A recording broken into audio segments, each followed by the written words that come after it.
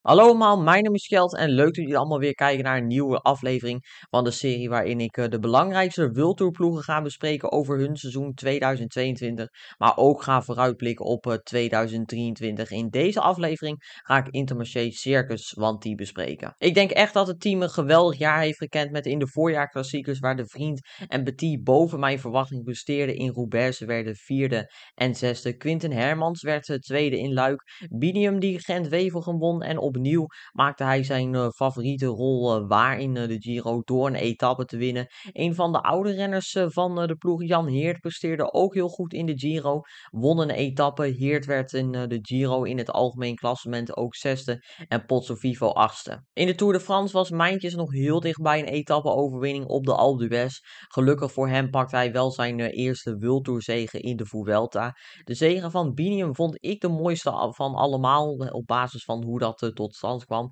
Maar de prestatie dat ze met uh, allemaal verschillende renners een overwinning hebben gehaald uh, dit seizoen, dat vind ik eigenlijk nog uh, de knapste prestatie. Dat ze gewoon gedurende jaar met zoveel renners hebben gepresteerd. Na een geweldig seizoen zijn er ook een aantal renners vertrokken die in 2022 een overwinning hebben behaald en punten hebben gescoord voor de ploeg. Want Quinten Hermans is naar Alpecin, Jan Heert is naar Quickstep als helper voor uh, Evenepoel. Pozzo Vivo heeft voor 2023 nog nergens een contract getekend. En Christophe, nog een hele belangrijke puntenpakker, is ook naar een andere ploeg.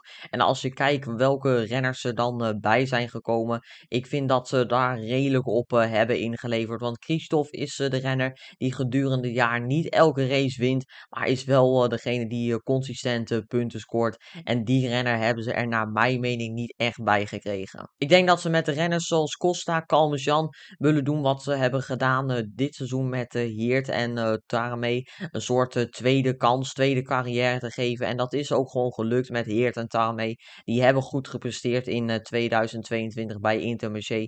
En ik denk dat ze dat ook hopen te doen met Costa en Calmejean. Al zijn dan al wel renners van een veel minder niveau. De transfer van Teunissen vind ik een hele logische. Omdat hij bij Jumbo-Visma in ieder geval in de grote klassieke races. Dan heb ik het over de Ronde van Vlaanderen en Parijs-Roubaix niet meer voor zijn eigen kansen kon gaan. Omdat simpelweg het team van Jumbo-Visma het klassieke kern eh, van Jumbo-Visma de afgelopen twee jaar vooral eh, zo ontzettend eh, gegroeid is in de breedte, maar ook gewoon sterker en beter is geworden, waardoor er gewoon geen kans meer is voor Teunissen om voor zijn eigen succes te gaan. Ik denk dat dat nu wel kan bij Intermarché, dat hij samen met Biniam een mooi duo kan worden voor de kasseien klassiekers, maar ook een rol kan spelen in de andere wedstrijden als lead-out voor hem. Als de echt grote jongens ervan doorgaan, denk ik niet dat Teunissen in staat is om dan uh, mee te gaan. Maar hij kan denk ik wel gewoon echt uh, van uh, waarde zijn voor Binium. En ik denk ook in de eerder stadia van de race dat hij al mee kan gaan op het moment dat de grote jongens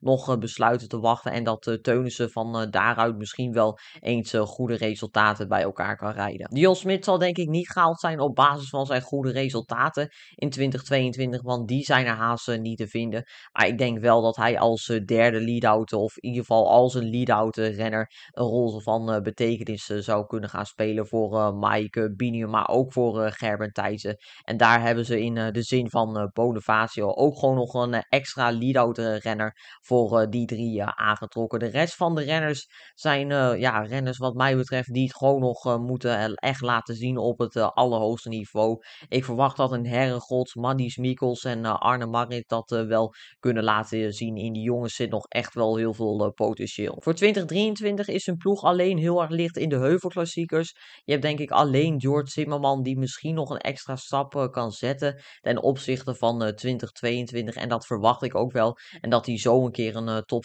15 kan halen in de heuvelklassiekers. Voor de rest zijn het wat mij betreft geen mannen in het team voor volgend seizoen van Intermarché die dat kunnen gaan doen. Maar teams met deze budgetten is het ook wel onrealistisch om dan te verwachten dat ze in elke categorie mee kunnen gaan doen wat betreft de top 10 plaatsen. Zo is het ook jammer, vind ik, dat ze geen genoeg budget meer hebben om Pozzo Vivo een contract aan te bieden voor 2023. Ze hebben nog wel een plek over voor een renner, maar hebben gewoon niet meer het budget om Pozzo Vivo te kunnen betalen. En dat is heel erg zonde, want het is gewoon meer dan waard op basis wat hij in 2022 heeft laten zien. Toch blijf ik het ook een beetje een raar verhaal vinden, want ze hebben dan blijkbaar eerst geen prioriteiten gesteld om te zorgen dat ze eerst de Pozzo Vivo betaald krijgen, een contract geven, want die heeft het al laten zien bij Intermarché. Terwijl je Costa en Calmejean ook niet de goedkoopste renners zijn, die notenbenen nog niet hebben laten zien bij de ploeg. Is natuurlijk ook logisch, die komen er volgend seizoen pas bij, maar met Pozzo Vivo weet je in ieder geval wel dat hij een goed klassement kan rijden. En met hem weet je ook gewoon dat er geheid goede resultaten komen. Of hij moet in 2023 een hele dalende lijn krijgen. Maar dat denk ik niet als je eerst wat geld opzij had gelegd voor hem. Ik hoop nog wel dat er gewoon een andere World ploeg die nog een plekje vrij heeft Pozzo Vivo kan betalen en hem contract geven. Want het is denk ik wel echt van waarde voor dat team dan. De doelen voor 2023 gaan denk ik gewoon weer een beetje precies hetzelfde zijn. Opnieuw veel etappenzegers willen pakken. En dan met liefst natuurlijk in de grote ronde met Binium in de Tour. En Mijntjes die natuurlijk ook wel een Tour-etappe wil pakken. Revanche wil nemen na die etappe op de Alpe d'Huez. En daarbij ook zal het mooi zijn als hij weer top 10 kan eindigen in het algemeen klassement in de Tour. En als Binium dan een rit pakt, ja, dan is zijn Tour denk ik ook wel geslaagd voor het hele collectief dan voor Intermarché in de Tour. Ik neem aan dat ze in de klassiekers ook gewoon tevreden zijn met een podiumplek. Bijvoorbeeld Parijs-Roubaix, Ronde van Vlaanderen of een andere klassieker voor Binium of Mike Teunissen. Of dat realistisch is, dat denk ik niet per se. Om even terug te vallen nog op de Tour. Ik denk ook wel gewoon dat Mike Teunissen meegaat naar de Tour voor de lead-outs voor Binium. In de Giro, daar gaat denk ik Gerben Thijssen naartoe voor een etappe-overwinning. En datzelfde geldt voor Taramee in de bergetappes. In de Vuelta, ja, daar gaat er gewoon een mix van renners aan de start staan. Dat is nu gewoon nog lastig zeggen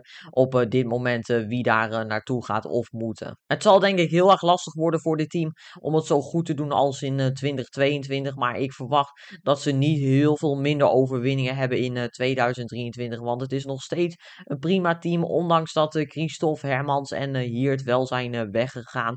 Die overwinningen hebben gehaald en ook veel punten hebben gepakt. Hebben ze nu ook wel de renners waarvan ik verwacht met Binium als kopman van het team. Om zomaar te zeggen dat ze genoeg punten en overwinningen gaan pakken in 2023. Ook heb je met Hugo Paas en Maddie Mikkels in wat kleinere koersen die het goed kunnen doen. Moeten misschien daarvoor net even een stap nog zetten in de goede richting. Om dat dan ook te kunnen winnen. Maar ik ben heel erg benieuwd of ze gewoon constant kunnen blijven presteren. Het zal natuurlijk minder zijn qua overwinning in 2022.